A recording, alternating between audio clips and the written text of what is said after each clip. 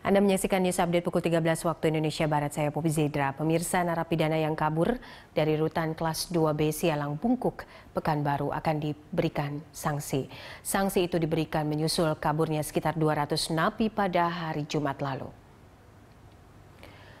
Pasca kaburnya 200 narapidana, suasana rutan kelas 2B Pekanbaru Riau masih dijaga.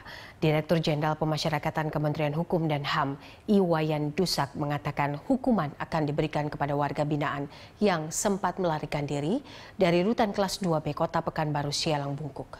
Hukuman itu adalah pemberian sanksi yang bersifat sanksi administratif, yakni pencabutan remisi atau pengurangan hukuman. Selain sanksi remisi juga akan diberikan sanksi berupa pengurangan jatah kunjungan keluarga.